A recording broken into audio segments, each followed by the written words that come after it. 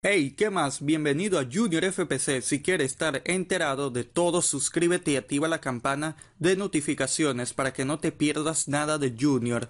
Juniorista, el conjunto barranquillero está fuera de los ocho, faltando cuatro fechas para finalizar la liga colombiana y entrar en cuadrangulares. Y cada día más el Junior juega peor. No se ve la mano del técnico Amaranto Perea, que tiene demasiada culpa de esta situación, porque no tiene su nómina definida Pone a jugadores en posiciones que no dan la talla. Ayer, como en los primeros minutos, puso a Cherma por la banda derecha, viendo que él rinde mejor por el centro. Junior no hace más de tres pases correctos.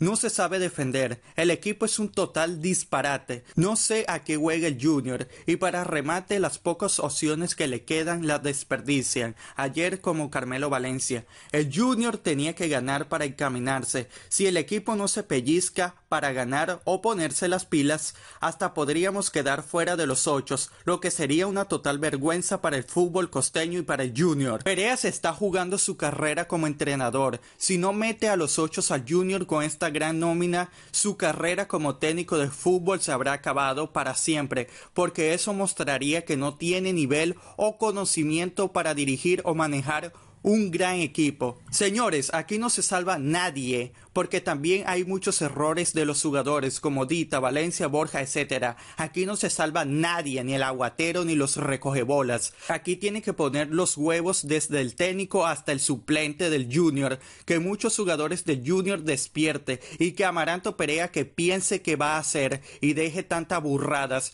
y ponerse serio, que aquí lo trajeron para mejorar, no para hacer sus prácticas. Aquí se es con resultados. Todos tienen que respetar a Junior y si a Perea y a muchos jugadores le quedó grande la camisa roja y blanca, puede alistar las maletas e irse del Junior. Junior ayer fue un equipo estéril que tuvo algunos buenos momentos contra Millonarios, pero en general el equipo embajador complicó demasiado al conjunto barranquillero. Si Perea no consigue un buen resultado en Cúcuta, que se vaya despidiendo de Junior porque estamos en la cuerda floja. Junior ya debería estar clasificado y no sacar la calculadora. Somos la mejor nómina del país. Bueno, eso fue todo, Juniorista. ¿Cuál es su opinión? Déjamelo en la caja de comentarios.